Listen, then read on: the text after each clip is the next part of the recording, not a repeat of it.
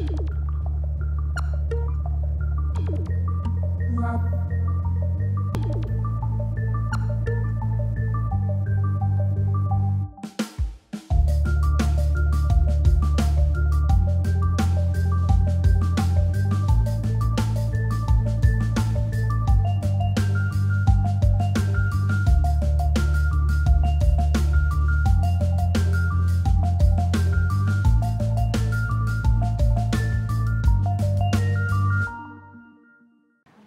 Bonjour à toutes et à tous et merci d'être avec nous pour cette rencontre avec euh, Joseph Winkler qui vient de publier aux éditions Verdier l'Ukrainienne, un récit traduit par Bernard Banoun. Bonjour Joseph, merci d'être avec nous euh, aujourd'hui et bonjour et merci à Sabine Turek qui va assurer la traduction de, cet entretien, l'interprétariat de cet entretien. Dans l'Ukrainienne, vous nous racontez, Joseph, à travers ces mots à elle, avec ces mots à elle, l'histoire d'une femme que vous avez rencontrée en 1981 alors que vous écriviez votre roman Langue maternelle, votre troisième roman.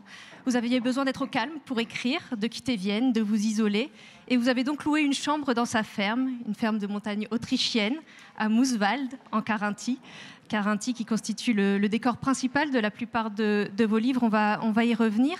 Et donc au fil des jours, cette femme, Nietoshka Vassilievna Ilyashenko, vous a raconté sa vie, son enfance en Ukraine, sa déportation jusqu'en Carinthie en 1943, dans un wagon à bestiaux. Elle avait alors 14 euh, ans euh, à peine.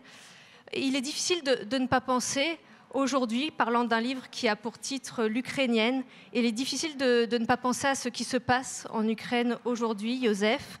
Bien évidemment, euh, nous allons parler de votre, de votre récit, de ce, de ce livre très fort, poignant, mais j'aimerais, si vous le voulez bien, que, vous nous disiez comment vous regardez euh, les, les, événements en cours, euh, ce qui se passe en Ukraine aujourd'hui.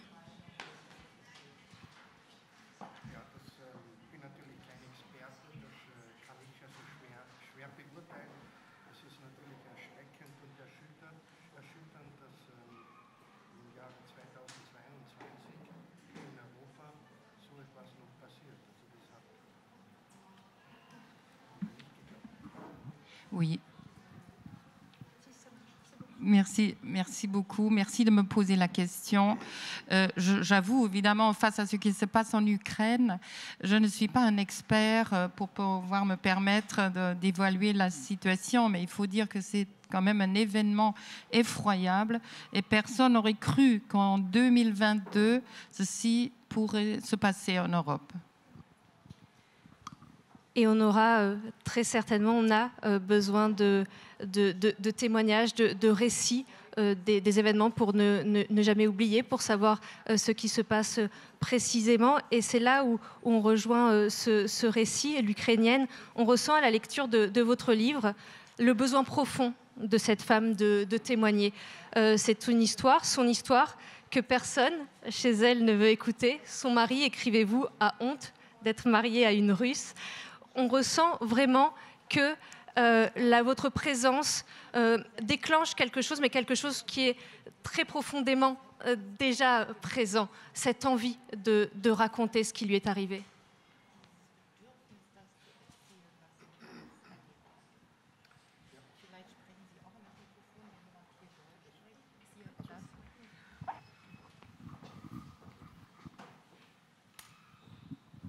Ja, es war ein reiner Zufall, dass ich ähm, dort ähm, in, in, auf diesen Kärntner Bergbauernhof hingekommen bin.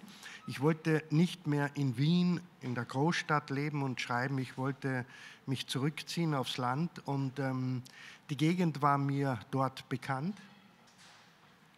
Und äh, da bin ich dann einfach von Haus zu Haus gegangen und habe gefragt, ob ich mich dort einmieten, also eine Vollpension sozusagen. Und es war, es war niemand bereit, nur diese gebürtige Russin hat gemeint, sie hat Platz.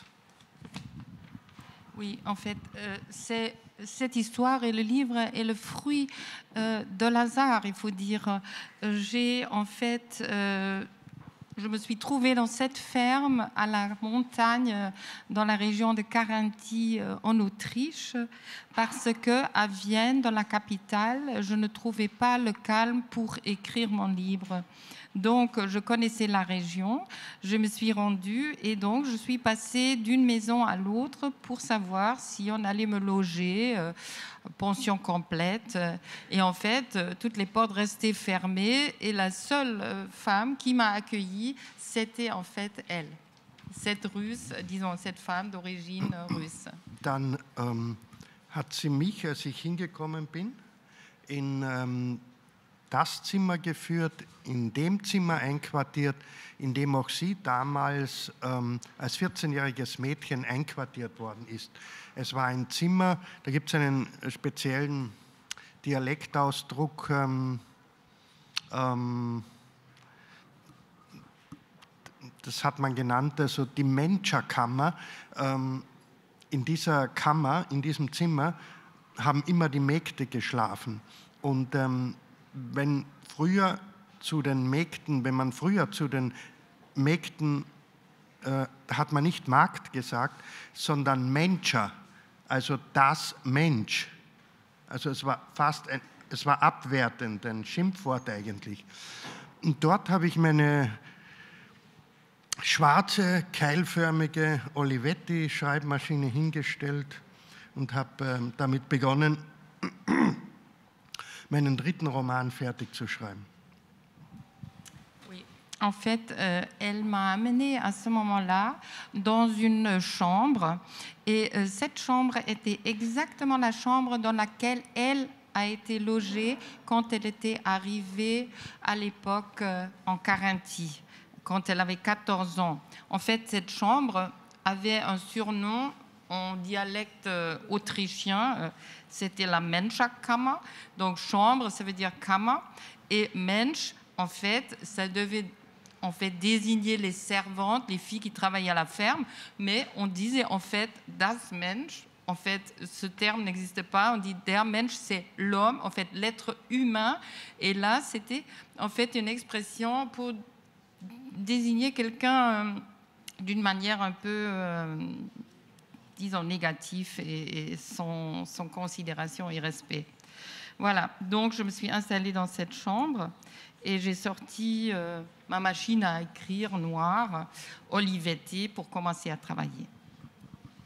Und ähm, abends, ich habe den ganzen Tag gearbeitet oder ich habe auch gelesen. Ich habe damals also ein, einen großen Roman von deutschen Dichter, der nicht so bekannt ist, Hans-Henny Jahn Hans-Henny Jahn, den Roman Fluss ohne Ufer gelesen, 2000 Seiten.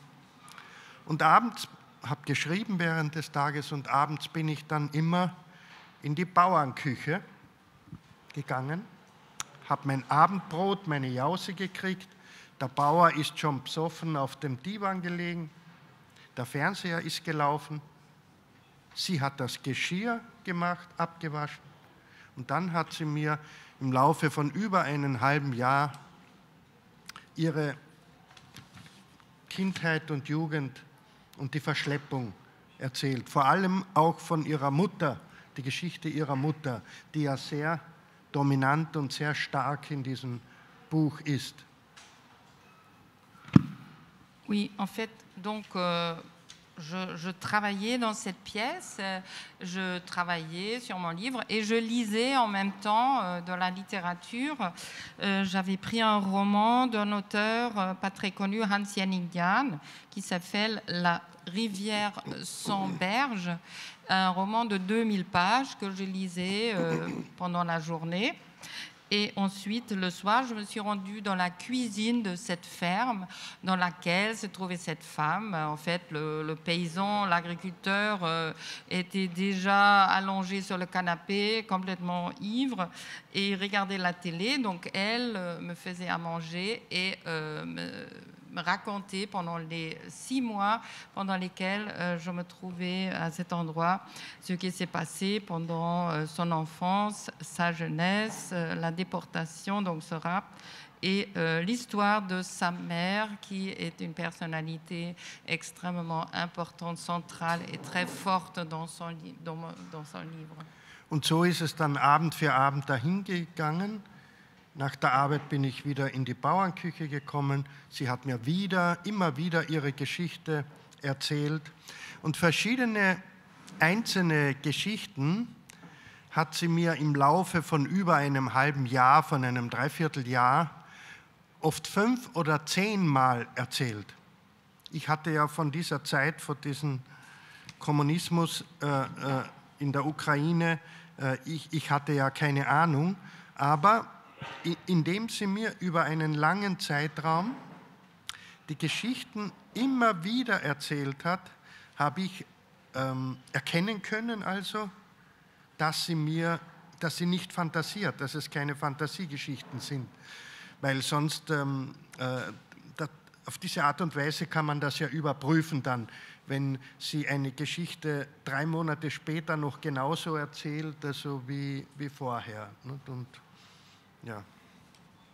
Oui, donc euh, soir par soir, euh, tous les soirs, je me trouvais dans cette, dans cette, cuisine et il y a différentes histoires, différentes anecdotes, différentes euh, euh, narrations qui revenaient à chaque fois pendant ces six mois, neuf mois.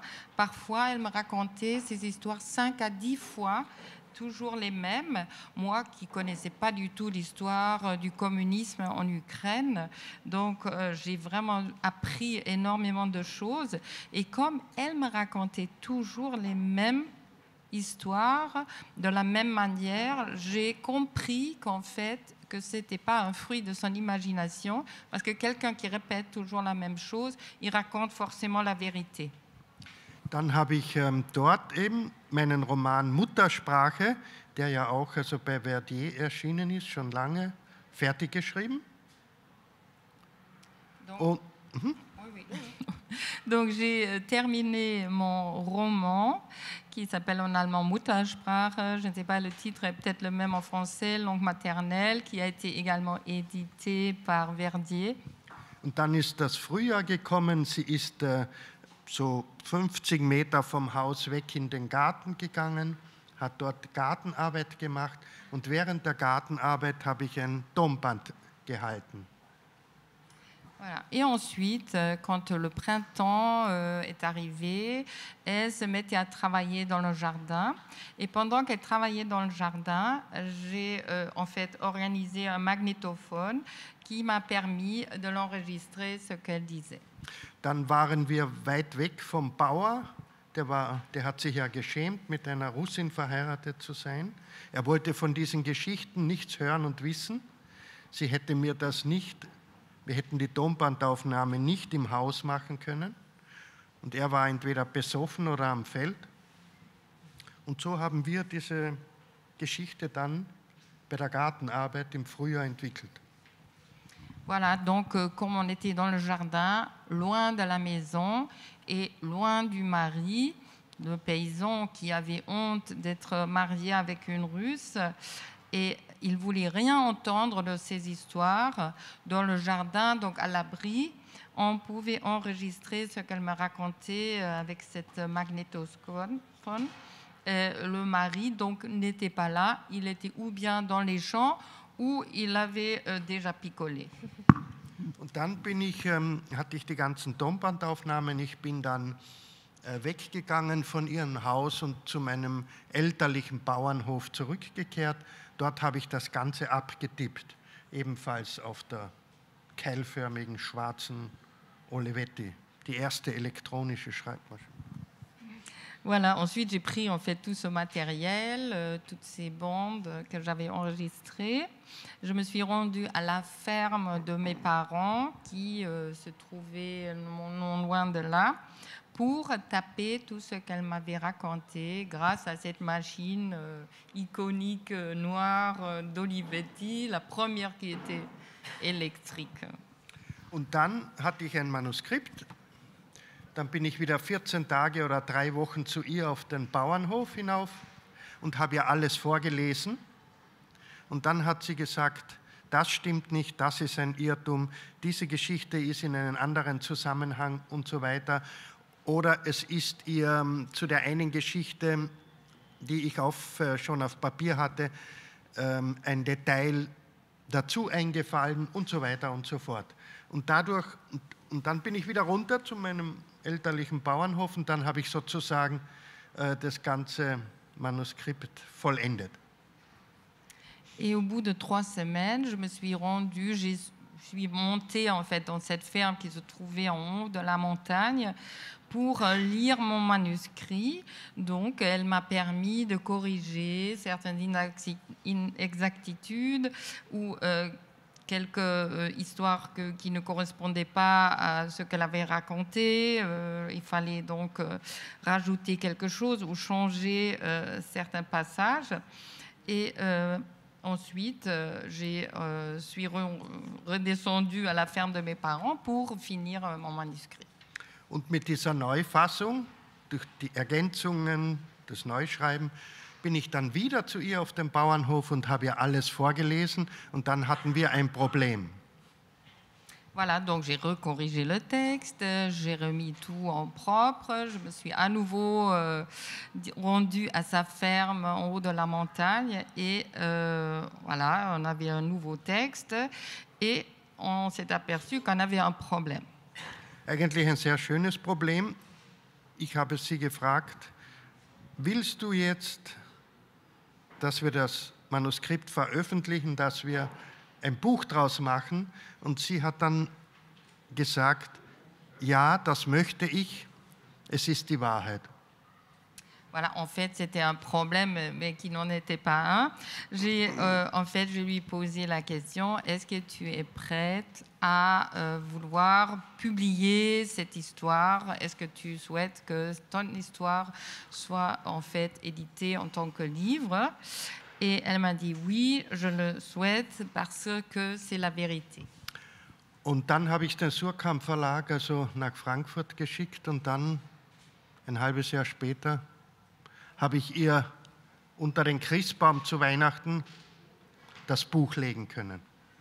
Donc j'ai envoyé euh, ce manuscrit à la maison d'édition Zurkamp à Francfort en Allemagne et donc euh, six mois après euh, j'ai pu lui mettre le cadeau de Noël sous le sapin en forme de livre.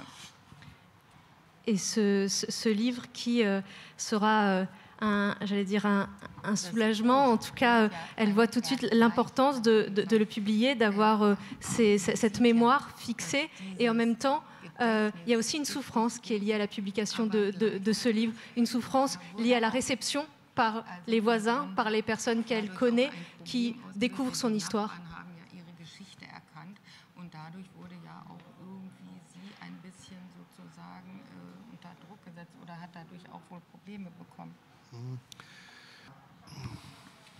Sie wollte eigentlich, ähm, also irgendein Journalist hat geschrieben, dass ich da kein Buch geschrieben habe, sondern eine Ikone erschaffen habe. un journaliste avait écrit que je n'avais pas écrit un livre, mais que j'avais créé une icône. Sie wollte nicht im Zentrum stehen, sie wollte, dass es die Geschichte ihrer Mutter ist. En fait, elle ne voulait pas du tout être au centre de ce livre. Elle voulait en fait écrire l'histoire de sa mère. Ich glaube, das war speziell ihre Antriebskraft, äh, damit, äh, als wir uns entschlossen haben, äh, dieses Manuskript als Buch erscheinen zu lassen. Ça, c'était en fait sa motivation lorsque nous avons pris la décision de publier ce manuscrit et euh, d'en faire un livre. Und jetzt existiert dieses Buch, also diese Ikone oder wie immer man das nennen möchte oder so, seit 40 Jahren. Es ist nicht verloren gegangen, nicht vergessen. Es ist eine kleine Geschichte, aber äh, wahrscheinlich doch ähm, etwas Besonderes. Voilà, ce, maintenant, ce livre ou euh, cette icône, comme on veut l'appeler, existe bel et bien et euh, depuis euh, des euh, décennies. Euh, voilà, c'est euh, c'est une petite histoire, mais euh, c'est quelque chose euh, dont on doit se souvenir, qu'on ne va pas oublier, euh, et cette histoire n'est pas perdue. C'est une petite histoire, mais quelque chose d'important.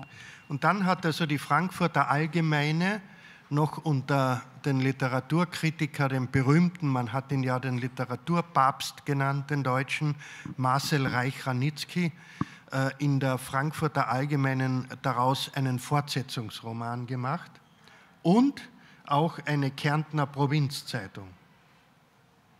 Et ensuite, la FAZ, donc c'est un grand journal de Francfort, Frankfurter Allgemeine Zeitung, dans le- pour, lequel, pour laquelle travaillait euh, en fait, euh, on l'appelait le pape euh, de la littérature. C'était un grand critique de la littérature après-guerre en Allemagne euh, qui s'appelait euh, Marcel Reich-Ranitzky et qui a fait en sorte que cette histoire a été publiée par épisode dans ce journal et d'ailleurs aussi un journal en Carinthie l'a également publié de cette manière.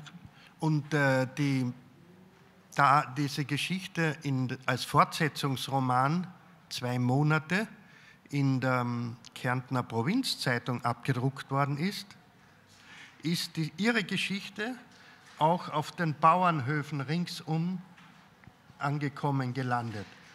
Und die Bauern sind eifersüchtig geworden.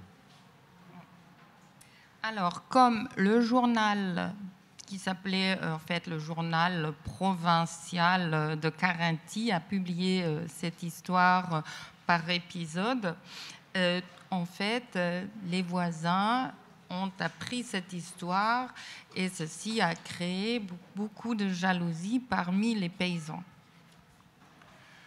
Und es sind dann auch, ähm, das, es war das ausländische Fernsehen ähm, an ihrem Hof und ein österreichisches Fernsehen. Die Bauern haben das gesehen und sind, wie gesagt, dann eifersüchtig geworden. Und ähm, ja, das eine Mal. Donc il y avait même des équipes de télévision autrichiennes et euh, de l'étranger qui sont venus la voir à la ferme. Et les paysans euh, du village euh, ont été très jaloux de cela.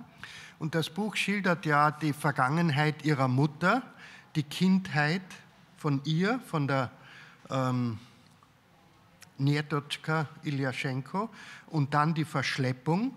Und es wird ja auch das erste Jahr geschildert, ähm, wie dieses 14-jährige verschleppte Mädchen aus der Ukraine auf dem Bauernhof, auf dem Bergbauernhof behandelt wird. Und ähm, ja, Voilà, en fait, c'est l'histoire, comme j'avais déjà dit, de sa mère.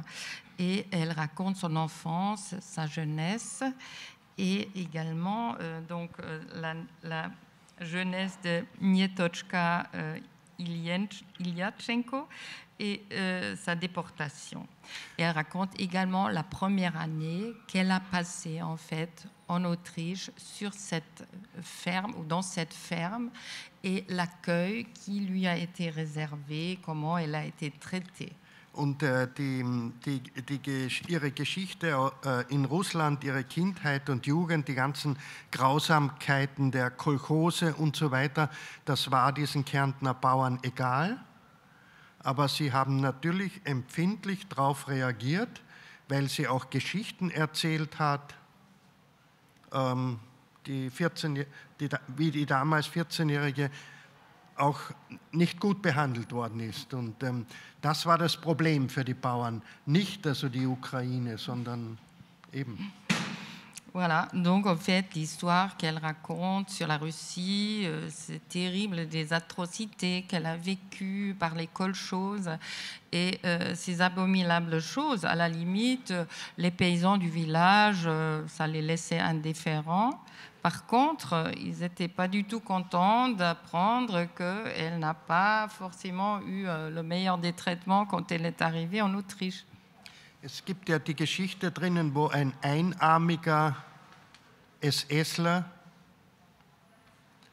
ähm, mit einer Peitsche hinter dem Pflug hergeht und das 14-jährige, der Pflug ist an Ochsen angespannt und das 14-jährige Mädchen muss die, die äh, Ochsen führen und äh, der Pflug war verstellt, blockiert und äh, der SSler, der Einarmige, hat dann die Peitsche gegen das 14-jährige ukrainische Mädchen erhoben. Und das steht auch drinnen und das war der eigentliche Skandal im Dorf in Kärnten. Voilà, donc en fait, euh, elle raconte l'histoire où euh, elle, la petite de 14 ans, a dû euh, travailler dans les champs avec une charrue qui était, sur laquelle étaient attelés des bœufs. Et donc, elle travaillait dans les champs, labourer le champ avec un SS qui n'avait qu'un bras qui se trouvait derrière elle pour surveiller euh, le travail et qui avait un fouet. Et quand, à un moment donné, cette charrue a été bloquée dans le champ, euh, il a euh, levé le fouet contre elle et ça a vraiment été le scandale provoqué par ce, ce récit dans ce village. Et je le disais, au, tout début, on ressent réellement la, nécessité euh, de, raconter. Et vous le, disiez, il y a des, anecdotes qu'elle euh, qu'elle a racontées 5, 6, 7, 8 fois. Euh, et à un moment, elle vous dit, je, je vous lis, si seulement je pouvais l'écrire, tout ça, je me disais toujours, mais en Russie, je ne suis allée à l'école que pendant 5 ans, 4 ans de petite école, et puis nous avons été amenés. Et puis tu es arrivé, toi, et avec ton aide, je peux dire ce que j'ai à communiquer à ce monde. Ce que je veux, disait-elle souvent, c'est montrer que même quand on est dans une situation désespérée, on doit mobiliser ce qui reste de force et d'espoir pour que ça continue quand même. Sans ça, je n'aurais pas survécu. Elle raconte, quand elle arrive dans la ferme, effectivement, qu'elle racontait à la personne qui sera plus tard sa belle-mère euh, euh, qu'elle va être capoute, qu'elle ne survivra pas. Et finalement, elle vous dit, plus de 30 ans plus tard, pas capoute, toujours pas. Il y, a vraiment une force dans, ce récit, la précision des, souvenirs, et on se dit que si tous ces souvenirs sont si vivants, c'est parce qu'elle avait gardé en elle cette nécessité d'un jour le, raconter. Et ce qui est fou, c'est que vous le dites, euh, elle nous raconte beaucoup euh, l'histoire de, sa mère, et même ces moments qu'elle n'a pas vécu, euh, la vie de, sa mère avant qu'elle naisse, les souvenirs, là aussi, euh, sont, précis. Il y a vraiment cette idée de la transmission au sens très très fort, à la fois de sa mère à elle-même, puis elle à vous, et grâce à vous, à nous tous.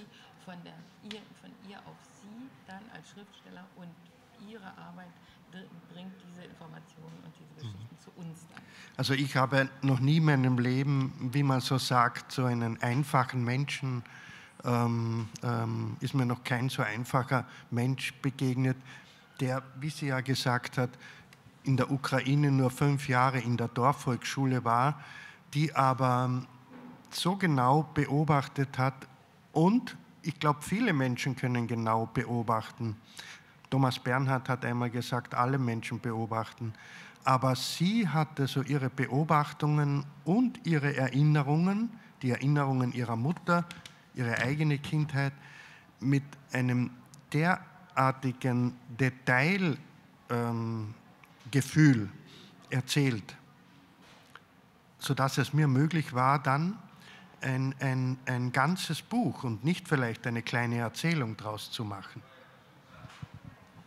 Oui, en fait, je, je, dois dire, jamais dans ma vie, j'ai rencontré une personne aussi simple.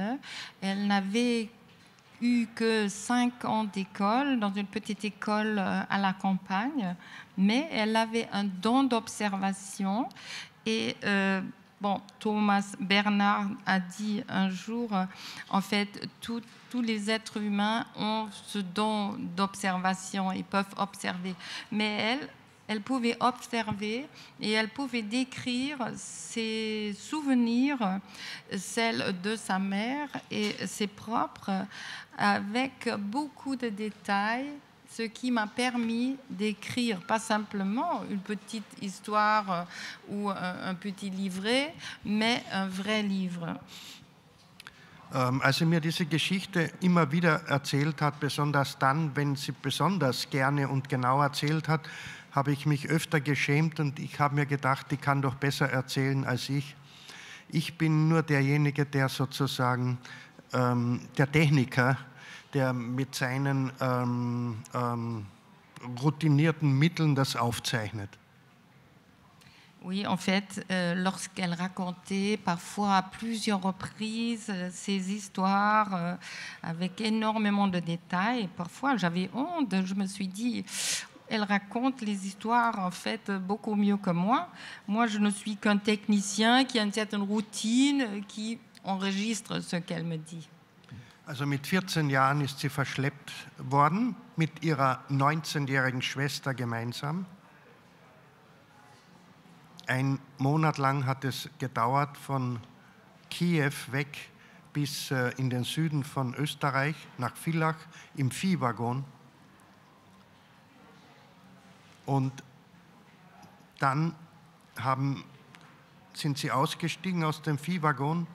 Da waren schon die Bauern da und haben sich die Verschleppten für, für die Arbeit ausgesucht. Voilà, donc euh, elle n'avait que 14 ans quand elle a été déportée avec sa sœur âgée de 19 ans à l'époque. euh, et euh, donc ils ont passé un mois dans un wagon à bestiaux pour euh, passer de Kiev euh, à Villach. euh, donc c'est un village en Carinthie, en Autriche du Sud. Et donc, quand ils sont sortis de ce wagon à bestiaux, les paysans étaient déjà à la gare pour trier ces jeunes personnes qui sont arrivées pour euh, les amener à leur ferme afin qu'ils y travaillent. Vom feuchten Fenster haben sie das Wasser abgeleckt. Ils étaient obligés de lécher euh, l'humidité qui euh, ruisselait sur les fenêtres. Als sie dann 26 Jahre alt war, hat sie den Bauern auf demselben Hof geheiratet. Sie sind ja sozusagen als Kinder oder Jugendliche gemeinsam aufgewachsen. En fait, quand elle a atteint l'âge de 26 ans, elle a épousé le fils des paysans euh, de la ferme où elle a été euh, accueillie, où elle a travaillé. Donc ces deux jeunes se connaissaient en fait parce qu'ils ont passé une partie de leur adolescence ensemble. Sie hatte dann vier Kinder bekommen, Ils ont eu quatre enfants ensemble. war wunderbar integriert, also äh, davon war wunderbar integriert, war sehr gesellschaftsfähig und gesellschaftstüchtig. Sie hatte Witz, sie hatte Humor, sie konnte erzählen, sie konnte Wein trinken, alles Mögliche. Donc en fait, euh, elle a eu, euh, ou ils ont eu ensemble quatre enfants. C'était une femme qui s'est bien intégrée. Elle était très sociale, très sociable. Elle avait beaucoup d'humour. Elle euh, racontait avec aisance et elle avait beaucoup d'humour et elle était drôle. Und äh, jetzt kommt das nächste Drama. Et ensuite, un autre drame s'est produit. Dann äh, ist ihre Geschichte aufbewahrt, aufgehoben worden als Buch, die Geschichte ihrer Mutter und ihre eigene Geschichte. En fait, son histoire, sa propre histoire et celle de sa mère ont été en fait euh, décrits euh, dans ce livre. Ils ont été ainsi conservés dans ce livre. Es war zwei Monate in der Provinzzeitung. Die Bauern sind äh, eifersüchtig und dann böse und hässlich zu ihr geworden. Et donc, euh, quand le journal provincial a publié cette histoire en plusieurs épisodes, ensuite tout le monde s'est détourné d'elle et ces paysans qui ont été jaloux de ce succès euh, sont devenus méchants et désagréables avec elle. Und ein paar Monate später, ich war ja schon so ähm, teilweise auf meinem elterlichen Bauernhof weit weg oder in Rom. Einige Monate später habe ich sie besucht. Donc, en fait, quelques mois plus tard, où j'étais à la ferme de mes parents, ou bien plus loin, ou à Rome. Donc, je suis retournée la voir. Und mir ist nur aufgefallen, dass sie, wie man so sagt, sehr schlecht, fast krankhaft ausgeschaut hat. Und ich habe dann gefragt, was ist denn, was ist denn los? Donc elle avait très mauvaise mine. Euh, J'avais l'impression qu'elle était malade. Je lui ai posé la question, qu'est-ce qui se passe Sie hatte ja so eine Freude mit dem Buch, also besonders also was die Geschichte ihrer Mutter betrifft. Ce livre lui a fait tellement de joie, tellement de plaisir, surtout parce que ceci concernait l'histoire de sa mère. Sie hatte ihre ukrainische Mutter nie mehr in ihrem Leben gesehen. Elle n'avait jamais revu sa maman qui était en Ukraine. Und ähm, dann, weil dieses Buch dann, äh, weil es eben erschienen, weil es vor allem in der Zeitung war, in der, in der ähm, Lokalzeitung, ne? Et comme l'histoire a été racontée dans ce journal local, ist, ähm, hat sie kaum mehr jemand besucht, während früher immer Leute aus und eingegangen sind. Und sie hat auch in kein anderes Haus mehr gehen können, weil sie hat gespürt, dass sie nicht mehr willkommen ist. Donc après cela, plus personne n'est allé la voir, elle n'avait plus de visites, elle n'avait plus d'échanges, elle-même euh, avait l'impression qu'elle n'était pas la bienvenue et elle n'a pas été invitée ailleurs. Und wie gesagt, ich habe sie besucht und ich habe gesehen, also, dass es ihr nicht gut geht, habe sie gefragt, was ist denn los? Und sie hat gesagt, wörtlich, Donc je suis allée la voir, j'ai dit, voilà, tu as mauvaise mine, qu'est-ce qui- qu'est-ce qu'il se passe? Et elle m'a répondu, jetzt lebe ich in einem Leichentuch, jetzt bin ich wieder die Russin. j'ai l'impression de vivre comme dans un, disons, comme dans un lin euh, qui entoure les morts. Euh, je suis redevenue russe. Vous parlez de, de, de la jalousie euh, des, des, des- des voisins. Euh, ça, me ramène euh, au personnage de, la mère, euh, Apka Davidovna Ilyashenko, puisque c'est aussi quelque chose qui caractérise sa vie. Vous le racontez. Euh, sa mère qui a un temps habité chez un comte avant de, revenir auprès de, sa famille. Sa mère qu'on traitait de, sorcière. C'est une sorcière, cette femme récolte plus que nous. Il y avait beaucoup de, jalousie autour de, sa mère, autour de, son père qui, après euh, la Première Guerre mondiale, a perdu, une jambe et reçu euh, une balle dans, la tête pendant la Première Guerre mondiale, et qui malgré tout, ce couple réussissait à avoir beaucoup de lait, à avoir euh, beaucoup de, à, réussir à très bien cultiver. Et il y avait cette euh, jalousie au- autour d'eux, Euh, le fait que comment est-ce qu'il était possible qu'un éclopé et une femme réussissent à, produire autant? Ce mot jalousie que vous avez employé à l'instant pour parler de, l'ukrainienne, on peut aussi l'appliquer, ou en tout cas, ça fait également penser à sa mère. Ja, das Seltsame ist, ähm, das hat sich dann wiederholt, also im, im, im Leben ihrer Tochter auch. Ihre Mutter war ähm, eine sehr starke Frau. Sie hat ähm, dort in der Ukraine, die haben ja am Ufer des äh, Flusses des Dnepr äh, gelebt. Äh, sie war alleine mit ihren beiden Töchtern. Es war die Zeit der Kolchose, es war die Zeit also der, der Hungersnot, wo also Eltern ihre Kinder auch aufgegessen haben und ähm, ihre Mutter hat sich durchgekämpft durch den Wald, durch die Felder, durch den Fluss und hat das Essen besorgt und ja und diesen Mut, ja, diese Kraft hat offenbar dann die Tochter, die Erzählerin dieser Geschichte, mit nach Kärnten gebracht. Oui, en fait, euh, c'est étrange. En fait, on a l'impression euh, que certaines choses de la vie de la mère se répètent dans la vie de la, de la fille. Euh, C'était une mère forte euh, qui vivait en Ukraine, euh, au bord du Dnieper.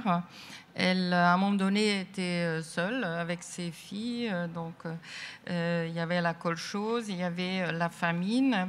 Mais malgré tout, elle, avait une résilience. Elle, C'était une battante. Elle cherchait la nourriture dans la forêt, dans les champs, dans la rivière. Elle avait ce courage et cette force dont la fille a hérité et qu'elle a emmené avec elle en Carinthie. Es gibt ja diese Geschichte auch, wo die ältere Schwester ein paar Wochen weggeschickt wird in die Umgebung der Dörfer, um zu betteln. En En fait, elle raconte son enfance que la sœur, qui était un peu plus âgée, a été envoyée euh, quand ils étaient petites dans les différents villages pour euh, faire la manche, pour, pour mendier. Und das hat sie dann äh, wie als ein Wunder dargestellt, als ein Wunder erzählt. Ausgerechnet am Weihnachtstag, es hat geschneit, hat es an der Tür geklopft und die über und über beschneite Schwester ist mit einem Rucksack voll, mit einem Sack voll Birischki vor der Tür gestanden. Und so haben sie die Weihnachten überstanden. Voilà, et donc elle raconte que c'était pratiquement un miracle. Le jour de Noël, la sœur rentre, euh, elle était couverte de neige, elle portait un sac à dos rempli de, de donc pour pouvoir fêter euh, Noël.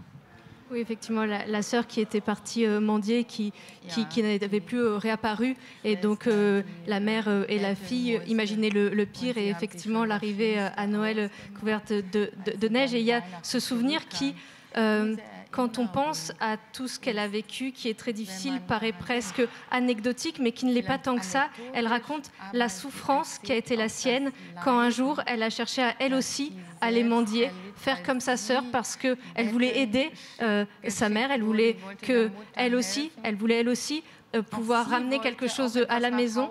Et elle raconte la souffrance que ça a été de revenir les mains vides. Ça dit, je trouve, beaucoup de ce qui peut nous marquer enfants et de comment est-ce que ces, ces souffrances très fortes peuvent s'imprimer de manière très puissante en nous.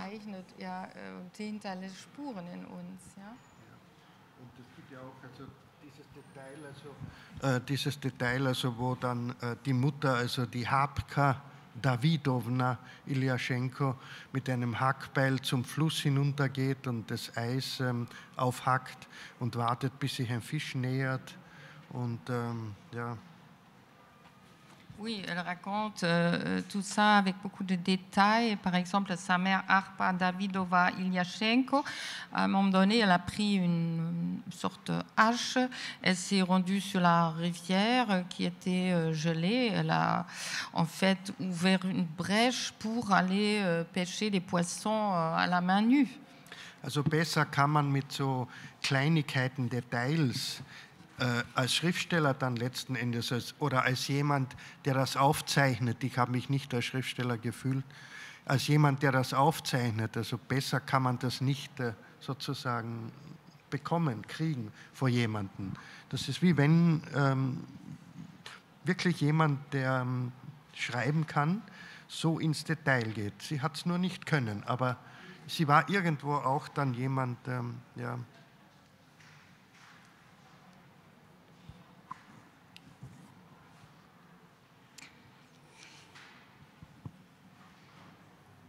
Voilà, donc euh, elle a raconté toute cette histoire avec énormément de détails. Euh, je, n'ai pas eu l'impression d'être un auteur parce qu'en fait, j'ai enregistré ce qu'elle a raconté.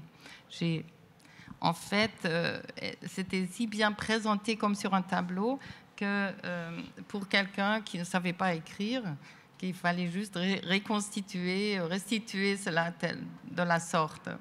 Und um das noch also zu Ende zu führen, äh, irgendwann haben sich die Bauern im Kärntner Dorf wieder beruhigt. Das heißt ja bei uns, ähm, da ist dann Gras drüber gewachsen und äh, dann war es irgendwie vorbei. Das Buch ist ja nicht herumgereicht worden und dann hatte sie wieder ihre Ruhe. Also sie ist nicht sozusagen dann zwei Jahrzehnte später in einem Leichentuch gestorben. Es hat sich wieder beruhigt, die ganze Situation.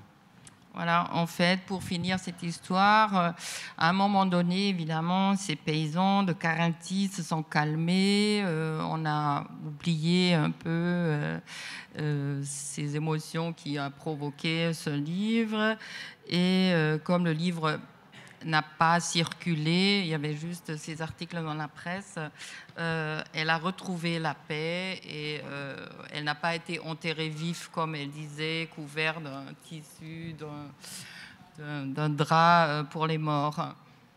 Und das Buch ist ja so aufgebaut, also in den ersten 50 Seiten schildere ich, ähm, wie ich dort wohne, wie es mir geht mit ihr, wie sie mir erzählt und so weiter. Und der zweite, der große Teil, der ist dann in Ich-Form geschrieben und da erzählt sie ihre Geschichte in einer für meine Verhältnisse eher ähm, äh, einfacheren Form.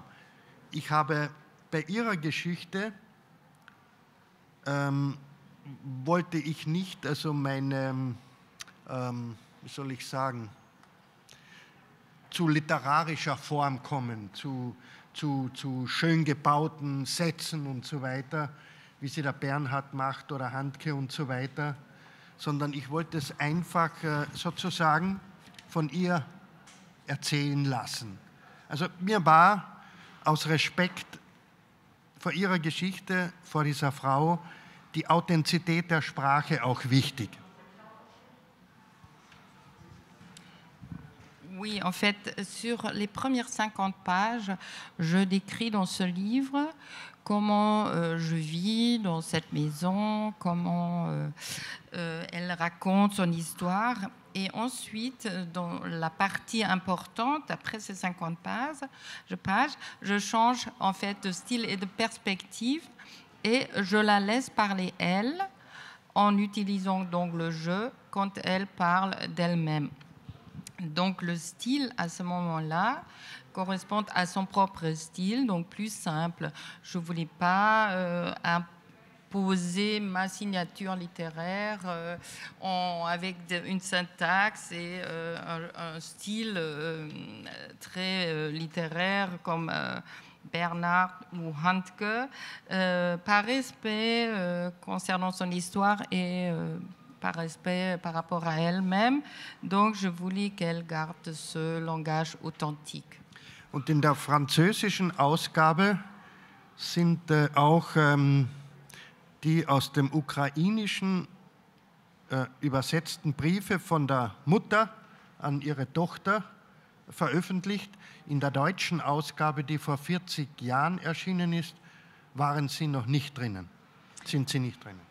Il faut que je rajoute que dans la version française se trouvent également des lettres que la mère a adressées à sa fille en ukrainien, traduit en français. Euh, dans la version, donc dans l'original allemand, publié il y a 40 ans, euh, ces lettres euh, ne figurent pas. Und jetzt erscheint auch äh, eine neue Ausgabe von der deutschen Ausgabe. Die wird der französischen angepasst. Donc, on va éditer bientôt encore une nouvelle version allemande qui sera à ce moment-là adaptée à la française. Es gibt ein neues Vorwort von mir dazu und es werden ebenfalls in der neuen deutschen Ausgabe, in der Neuauflage nach 40 Jahren, werden auch die Briefe von ihrer Mutter veröffentlicht. Donc, euh, moi, j'ai préfacé mon livre français. Il y aura également une nouvelle préface dans le livre allemand qui sera enrichie par les lettres ukrainiennes de la mère à la, à la fille. Vous le disiez, euh, dans la première partie, vous mêlez euh, euh, les paroles de Nietoshka Vassilievna Ilyashenko à votre voix en nous racontant ces, moments d'échange, comment est-ce que tout ceci s'est mis en place. Et dans la deuxième partie, vous, vous le disiez également, ce n'est que sa voix qu'on entend quand on lit euh, le, livre. Il y a des, digressions. On peut lire par exemple, c'est une anecdote qui me passe maintenant par la tête. Euh, il y a parfois des, je te raconterai ça plus tard. Euh, c'est ce que vous disiez un petit peu déjà à propos de, l'écriture même de, ce récit. Mais c'est important pour vous de conserver le cheminement de pensée également de Nietoshka, c'est-à-dire que dans les moments où certains passages lui évoquaient des passages plus anciens, où il y a des, allers-retours dans, le temps, c'était important de garder vraiment le témoignage euh, dans son entièreté, j'ai envie de, dire, comme si finalement le lecteur, on avait été aussi euh, l'oreille attentive de, de son récit.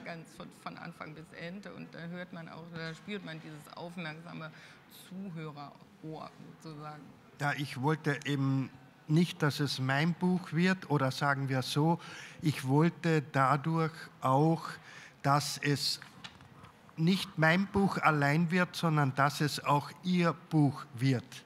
Das war mir wichtig. Donc pour moi, il était très important que ce livre ne soit pas mon livre, mais que c'était aussi son livre à elle. Et il y a quelque chose, on disait qu'elle euh, ne savait pas écrire et que finalement euh, vous étiez là et, heureusement. Mais si elle ne, savait pas lire, en revanche, et c'est peut-être pour ça aussi euh, qu'elle, sait si bien raconter avec force détail, c'est que elle, lisait. En tout cas, elle, partage avec vous des contes dont elle se souvient. Euh, elle se souvient de, contes euh, qu'elle euh, lisait dans, son enfance, qu'elle se racontait avec, avec sa sœur. Peut-être que sa façon de, de- vous parler de, son enfance est aussi quelque part nourrie de ce goût pour les histoires qu'elle semble avoir depuis toute petite. Ja, es gibt einen berühmten, also äh, ukrainischen äh, Volksdichter, ähm, Taras Shevchenko heißt er. Den hat sie gelesen. Von dem hat sie die Gedichte gelesen. Oui, en fait, il y a un, pop- un poète populaire euh, très connu en Ukraine, euh, Taras Shevchenko, euh, dont euh, elle a lu les poèmes euh, et s'est inspirée. Ich konnte dann, damals hat es noch die alte DDR gegeben, da habe ich in der DDR, in der alten, in einem dicken Band die Gedichte von Taras Shevchenko gefunden. Et à l'époque, lorsque la euh, RDA existait encore, j'ai trouvé un tome euh, très ancien de ces euh, poèmes de Taras Shevchenko. Und ähm, ich war dann auch einmal in der Ukraine, in Kiew. Und ähm, da, ist, ähm, da sind Teile von, meiner, von meinem Requiem für eine Mutter entstanden. Mutter und der Bleistift ist, glaube ich, auch auf Französisch. Und da habe ich also dann äh, ähm, in cyrillischer Schrift von diesem Dichter die Gedichte mitnehmen können. Voilà, donc euh, je me suis rendue à Kiev, euh, en Ukraine, et là j'ai en fait euh, écrit une partie euh, de mon livre Requiem pour une mère. La mère euh, et le crayon, c'est peut-être ça le titre en français. Et euh, donc là, euh, j'ai également trouvé donc, de ces textes euh, en, en cyrillique. Und äh, von diesem Dichter Taras Shevchenko äh, gibt es in Kiew ein Museum und weil wir jetzt wieder zum Anfang zurückkehren, wer weiß wie lange noch. Donc, euh, à Kiev, euh, il s'y trouve en fait un musée dédié à Taras Shevchenko, à ce poète. Et là, on retourne au début de notre histoire. Et on se dit, pour combien de temps encore? Le temps euh, euh, passe trop vite, mais un, mot, vous le disiez, quand vous êtes euh, entré dans, la chambre, dans cette, ferme, vous pouviez voir la, vallée, là où vous aviez, vous, grandi, ces, lieux qui sont aussi le, décor de vos récits. Euh, ce qu'on comprend aussi en, creux, vous, le racontez un peu, mais de manière très, très, très, très délicate, puisque ce n'est pas le, sujet de ce livre, puisque vous voulez vraiment laisser la parole à euh, Nietochka. Mais ce que vous racontez en creux également, c'est que ce séjour dans cette ferme vous a changé, euh, vous aussi. Vous vous décrivez en train, justement, une fois que vous avez euh, terminé le, manuscrit euh, de, votre, de votre roman, le moment où vous, vous sortez et où d'un seul coup, à nouveau, vous êtes à l'extérieur. Et, et- vous nous dites, encore une fois, sans vous apesantir du tout là-dessus, vous nous dites à quel point, finalement, cette rencontre vous a changé vous aussi. Ja, ich habe, ähm, ja, vielleicht war ich ähm, vom Literaturbetrieb durch ähm, Literaturpreise etwas verwöhnt, ein klein bisschen eitel, ein klein bisschen wehleidig. Und dann habe ich diese kämpferische Frau kennengelernt. Und da habe ich irgendwie gespürt, ähm, dass ich von ihr viel mehr lernen kann, als jedenfalls meinetwegen von Kollegen, die damals auch so gelebt haben wie ich. Oui, euh, j'étais assez gâtée dans ma vie. J'ai eu euh, beaucoup de prix de littérature. J'étais un peu vaniteux et un peu douillé. Et quand j'ai rencontré cette femme, cette battante avec son vécu, je me suis dit, là, je peux apprendre beaucoup plus que par rapport à mes collègues qui mènent la même vie que moi. Ähm, Sie haben früher von der schönen Landschaft geredet. Also Sie haben gemeint, äh, von der schönen Landschaft in Kärnten. Ich war dort auf einem Bergbauernhof bei der Russin und habe weit ins Tal hinunter geschaut, äh, auf mein Heimatdorf, auf mein Elternhaus. Oui, vous avez parlé du paysage à travers de la fenêtre. J'ai pu avoir une, vie, euh, une vue panoramique euh, sur toute la vallée jusqu'au village euh, dans lequel j'ai grandi. J'ai vu où, se trouve aussi ma maison, la maison de mes parents. Das Reizwort, das Reizwort, deshalb spreche ich davon, war für mich äh, schöne Landschaft. Ich weiß nicht, vielleicht bin ich ein Landschaftshasser, ich weiß es nicht genau. Mais le, la parole, qui, le mot qui m'a irrité un peu, c'est joli paysage. Je ne sais pas, c'est peut-être en moi, mais euh, je, je n'aime pas beaucoup les paysages. Ähm, meine Bücher werden in 18 Sprachen übersetzt und jedes Mal fast, wenn ein Buch in irgendeinem anderen Land erscheint, also wird man eingeladen, dorthin zu kommen. Alors, mes livres ont été traduits en 18 langues et à chaque parution, on m'invite pour euh, parler de mes livres. Und Verdier hat ja zehn oder elf Bücher von mir veröffentlicht. Ich war schon im Norden von Frankreich, im Süden. Ich war in Italien, in Spanien, äh, in Litauen, in ähm, Rumänien und ähm, dort eben, wo.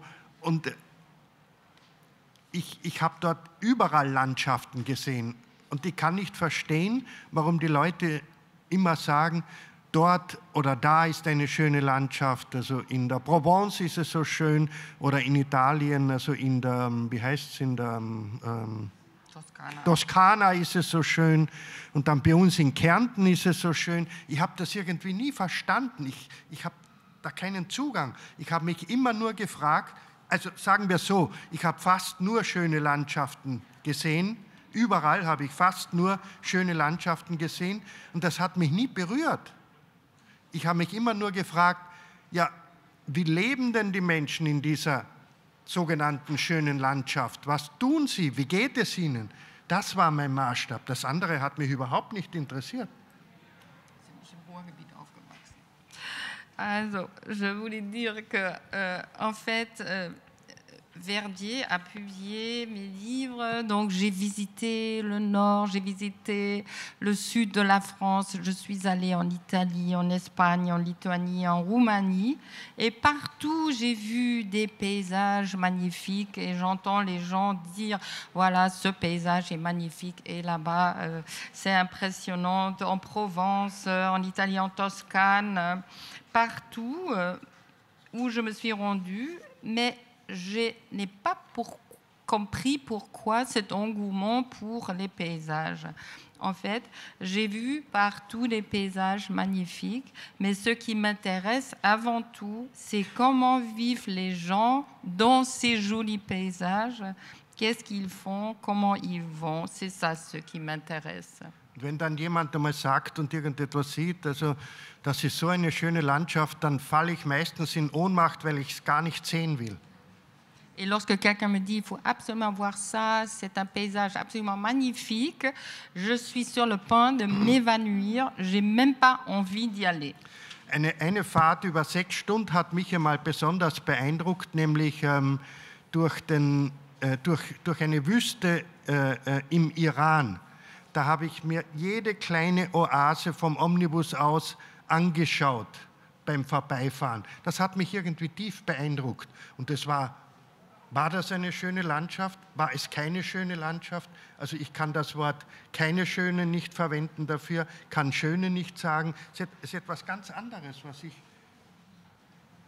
Voilà, une fois, j'ai euh, passé six heures dans un bus en traversant en fait euh, un désert en Iran. Et ce voyage et ces paysages m'ont impressionné. J'ai vu euh, les oasis euh, et euh, ceci m'a vraiment intrigué. Par contre, est-ce que c'est un paysage qui est joli? Est-ce qu'il n'est pas joli? Cette qualification ne, ne m'intéresse pas.